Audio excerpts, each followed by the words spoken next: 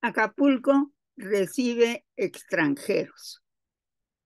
Después de que perdimos la guerra con Estados Unidos, a ellos les interesó mucho tener distintas comunicaciones entre el Pacífico y el Atlántico. Y como resultado, uno de nuestros primeros visitantes fueron dos empresas, la Wells Fargo y American Express, ambas dedicadas al transporte, como se puede ver aquí. Después ambas se volvieron financieras y de transporte porque se ayudan mucho. Bueno, pues entonces ellos pusieron dos sucursales, una en Guaymas, Sonora, y la otra en Acapulco.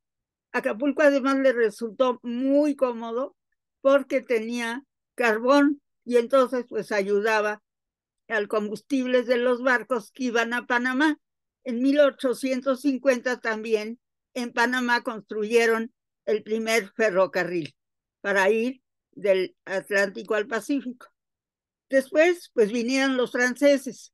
Aquí está una imagen de la flota francesa en Acapulco.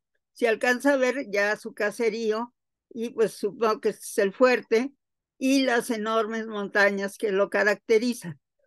Entre conservadores y liberales, nunca ninguno de los dos pudo tener el control completo sobre Acapulco. Se ve que es una zona muy difícil para tenerla militarmente controlada y ese tiempo no fue la excepción. El tercer visitante es Gilbert Haven, que era un gringo que vino a ver cómo éramos sus vecinos de junto.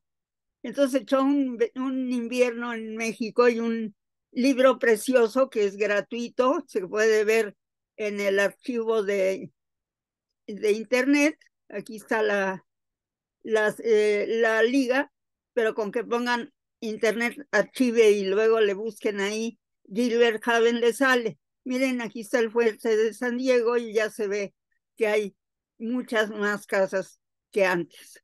Eso es todo por hoy. Que les vaya muy bien. Hasta la próxima.